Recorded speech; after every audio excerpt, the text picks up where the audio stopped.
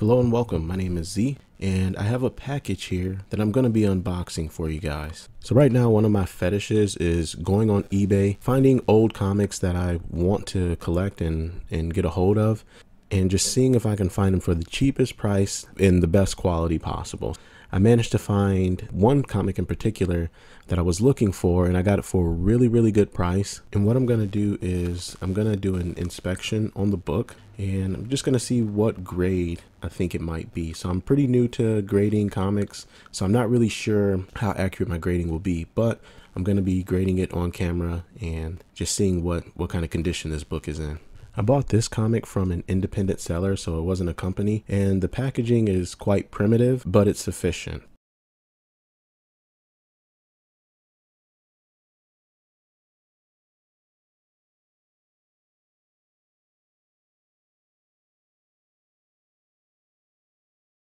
Okay, and here we are, New Gods issue number one. Now this actually isn't the comic that I ordered from eBay.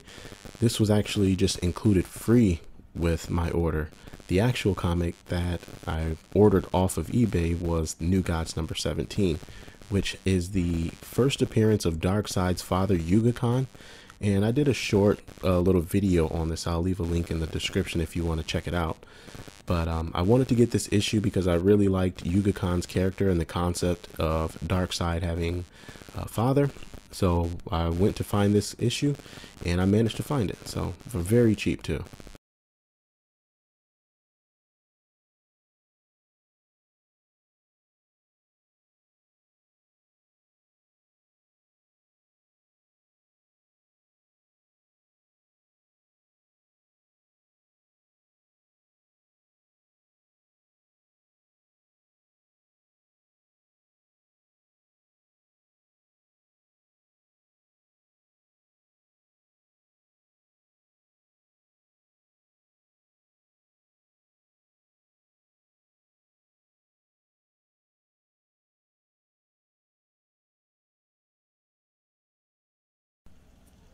So my first impression of the New Gods issue number 17 is that it's in pretty good shape. Like based on the front cover, there's not much going on with it. No tears, very minimal uh, breaks in the color, uh, some spine ticks that are, you know, visible, but nothing, nothing too crazy at all. Taking a closer look at the spine, there's quite a bit going on here. There's a lot of color missing from it. You can tell it's been read and opened many times. So that's not going to be good for the grade of the comic at all. If you look closely, you can see some spine ticks on the cover and you can see some color breaks as well. So they're not really major, pretty minor in my opinion, but I think these will also affect the grade of the comic.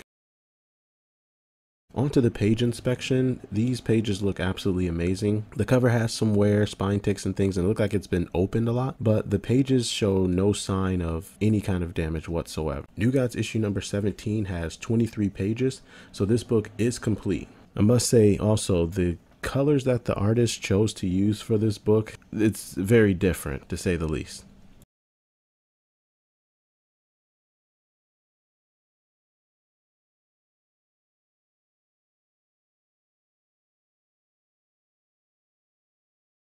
So I completely missed this during my first impression and it's basically a gash right out the back of the book. This is absolutely terrible for the grade. I'm not sure exactly how much is going to drop the grade, but this will probably be significant. It's, this goes through to the other side and it kind of touches the very last page if you saw that in the uh, previous clip there. So this one, this right here just hurts.